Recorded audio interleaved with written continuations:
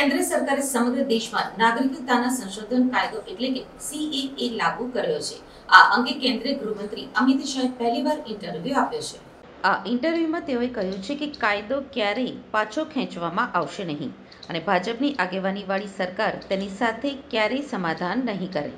તેમણે વધુમાં કહ્યું કે દેશમાં ભારતીય નાગરિકતા સુનિશ્ચિત કરવી એ અમારો સાર્વભૌમ અધિકાર છે. અમે આના ઉપર ક્યારેય સમાધાન નહીં કરીએ અને સીએએ ક્યારેય પાછો ખેંચી લેવામાં આવશે નહીં. ઇન્ટરવ્યૂમાં અમિત શાહે ભારત ગઠબંધન ઉપર પ્રહાર કરતા કહ્યું કે ભારત ગઠબંધન જાણે છે કે તે સત્તામાં નહીં આવે. સીએએ બીજેપી લાવી છે અને નરેન્દ્ર મોદીની સરકાર લાવી છે. તેને રદ કરવું અશક્ય છે. અમે સમગ્ર દેશમાં તેના વિશે જાગૃતિ ફેલાવીશું. જેથી જે લોકો તેને રદ કરવા માંગે છે, તેમને સ્થાન ન મળે.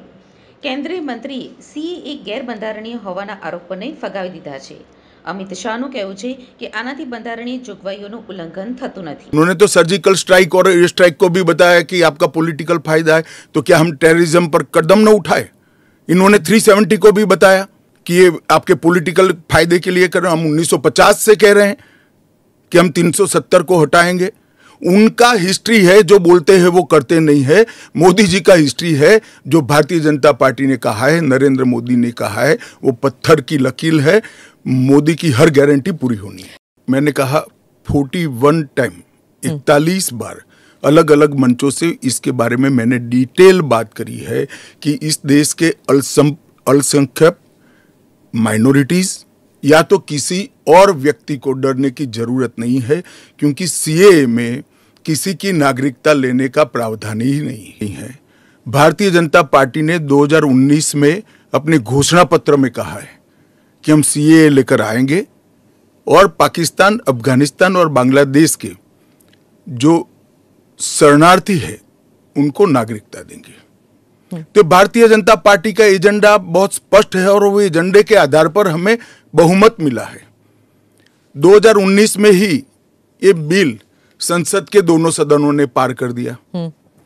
उसके बाद कोविड के कारण थोड़ा लेट हुआ। अब टाइमिंग का क्या महत्व है? सरकार ने अपनी विल चुने जाने से पहले अभिव्यक्त कर दी है। चुनने के बाद फ़र्स्ट प्रायोरिटी में, पहले ही साल में दोनों सदनों से इस कानून को मान्यता मिल गई है। रूल्स फॉर्मेलिटी है। अब टाइमिंग का या पॉलिटिकल गेन या लॉस का सवाल नहीं है। अब विपक्ष तुष्टिकरण की राजनीति करकर कर एपिसमेंट की पॉलिटिक्स कर वोट बैंक को कंसोलिडेट करना चाहता है।